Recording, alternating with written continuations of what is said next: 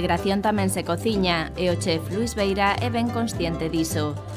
Ao abrir o seu propio restaurante na Coruña, había unha cousa que tiña clara. Como bo coruñés que é, quería devolverlle á cidade parte do que a cidade lle aportara a él. Down Food é o primeiro proxecto que materializa esta vontade, un programa de formación para desempregados e persoas con discapacidade a través do cal ensina aos seus alumnos os segredos da alta cociña. É algo moi sencillo. Que ellos aprendan unha profesión e que salgan al mercado laboral, ¿no? que hai que que tienen posibilidades como cualquier eh, otra persona, que están ahí, que, que, tienen muchas ganas, mucha fuerza y que van a, bueno, pues van a, a por todas, ¿no? que no tienen límites ¿no? para hacer las cosas.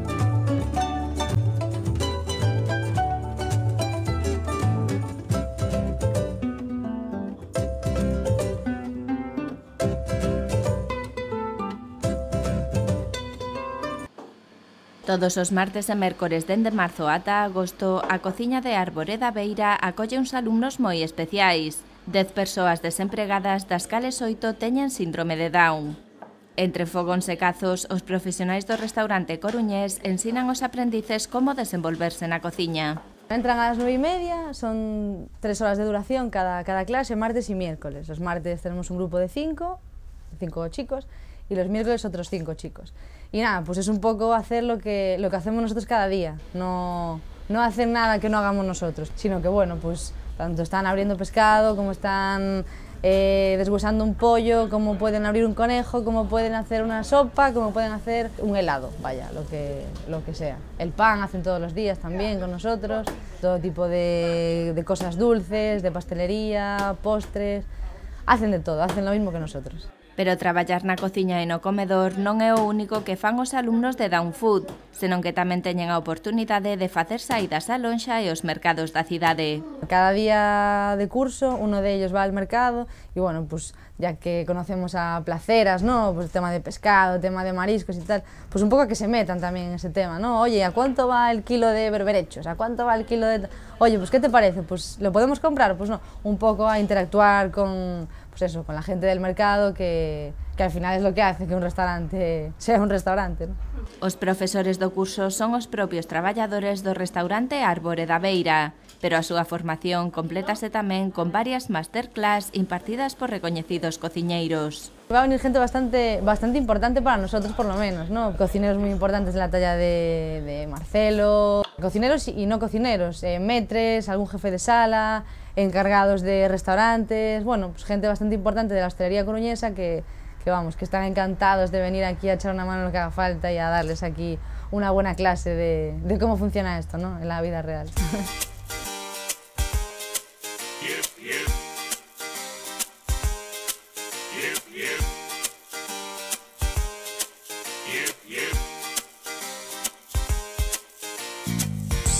A través desta iniciativa, os alumnos de Downfood poden adquirir ou ampliar a súa capacitación no campo da hostalería, aumentando así as súas posibilidades no mercado laboral, a vez que se incide sobre a integración de persoas con síndrome de Down.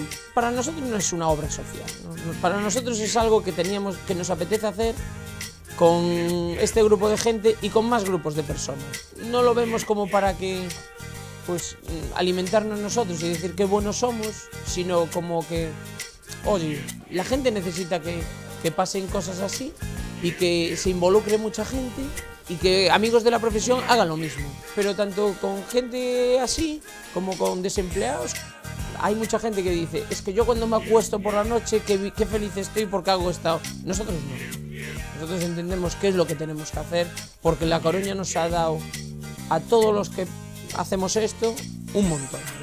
nos ha dado mucho y se lo tenemos que devolver de alguna manera. Y se lo devolvemos con esto y con más propuestas que vamos a sacar de, más adelante.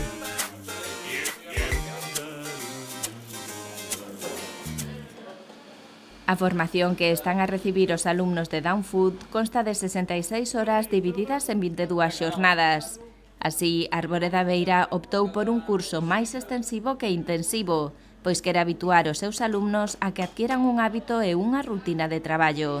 Nosotros tenemos claro que ahora mismo aprender un oficio es muy importante, porque eh, por desgracia pues no hay tanto trabajo como el que se, como el que se necesita ¿no? para toda la gente que, que hay desempleada, pero eh, ahora mismo yo creo que es un momento para formarte.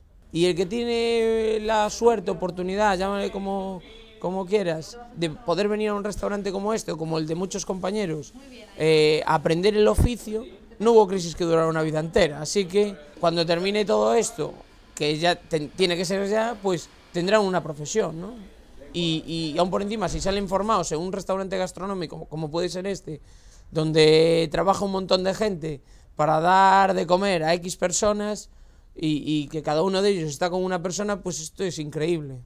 A sesión de formación que ofrece Arboreda Beira concluirá coa creación dun servizo de catering para eventos dunha institución pública, no que se servirán menús e pratos fríos pensados e elaborados polos propios estudantes. Cuando terminemos el curso, contrataremos a alguien, no sabemos aún a quién del grupo, lo estamos aún valorando y seguramente que hasta termine todo no sabremos quién es, y después dar un catering para unas 30 personas donde pues un poco el ayuntamiento que ha colaborado desde el principio, tanto Down Coruña también ha colaborado desde el principio, eh, les vamos a dar un catering para ellos, esperando que inviten a, a gente de, de, la hostelería para que los puedan eh, contratar y a, ellos, a gente que pueda ser interesante para que los contraten, vean el trabajo que van a hacer desde un catering frío y bueno, ese es un poco el, el objetivo, ¿no?